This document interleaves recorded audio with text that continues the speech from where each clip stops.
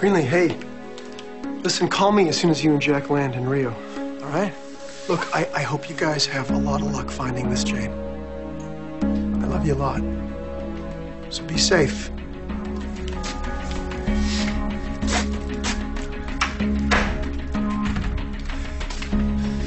That long drive wasn't the best thing for my standpoint. The sooner we start your treatment, the better. This is nothing like the room you had me in last time. You make it sound like you were held prisoner. Wasn't I? You were my patient, Greenlee. I saved your life. I wasn't the only one. So, is Leo here? If you think this is some kind of game for me, you're dead wrong. You promised me if I came here with you, you'd tell me he was in that room with me. I also promised that I would take care of you. And I intend to keep my word on both counts. But I'm also still recovering from Erica's attack. Which means I don't have a lot of energy right now. And since you took the time to convey to me the seriousness of your symptoms, I am choosing to alleviate them first. Now I need to draw some blood. So why don't you hop up on the table and let's get started. Cold in here? I can assure you, you have nothing to be afraid of. Except you. Do you have any idea how close you were to death's door when I brought you back? And Ryan thinks that I did it just to control you. what a joke. Yeah, if that was true, how'd that work out for me? Hmm? You did end up with him, right? I won't apologize for that. Well, maybe you should. I've accepted that I won't have you. But the fact that you're even around at all to be with someone else is a miracle that belongs to me, and me alone. After all that's happened, you can't honestly expect me to trust you. That's exactly what I expect. So if I'm gonna do this, I wanna make sure that we're very clear right now. I wanna know that you are here right now by your own choice. I am. And And I'm putting my life in your hands.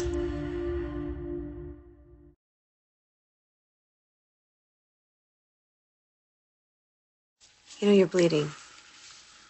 Maybe we shouldn't do this. no, I'm fine. You're the one I'm worried about right now. I'm not gonna lose you, Greenlee. That life that's coursing through your veins right now, I gave it to you. David, And I'm not going to let anyone take it away.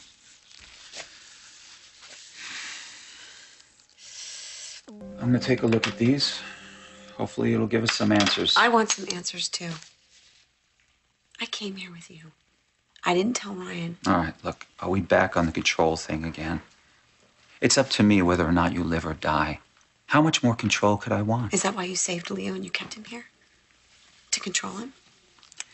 I never said my brother was alive. You never said he wasn't. So where is he? Is he in another room here? Or is this just a game? Why don't you tell me? Tell you what? When I got out of that car after the long drive, I had pins and needles in my legs. But you, you just hopped right on out without any problem whatsoever. You're not feeling any numbness, are you, Greenlee? So you tell me, who's playing games?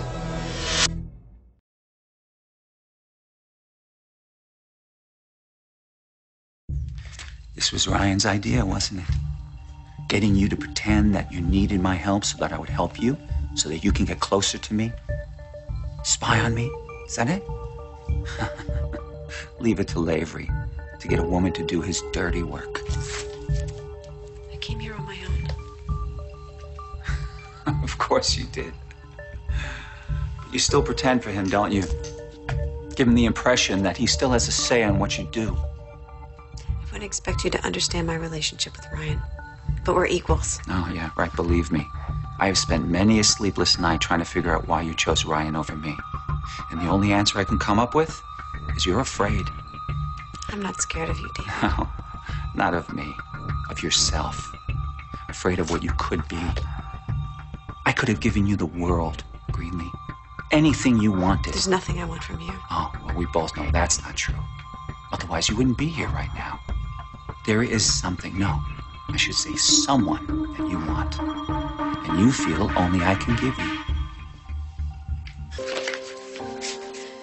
Get out of my way, David, or I swear to God I'll hurt you. You already have. More than you will ever know. I gave you life. Do you have any idea how precious that is? Obviously, you don't. Otherwise, you wouldn't be throwing it away. Now, you are going to understand. Leo is dead. He's dead, and no one can change that. No, no, David, no. Ah, ah, Don't fight it, Greenlee. I've always been the one who knows what you really need. Now, finally, you're going to thank me for what I'm giving you.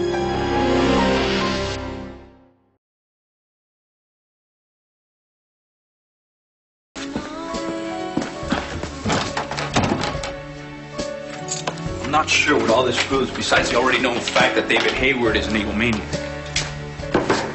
Ryan, Yeah, well, I was just thinking of how happy I am that Greenlee's thousands of miles away from Pine Valley right now before we take the next step. What's that? Finding out the truth from Hayward himself.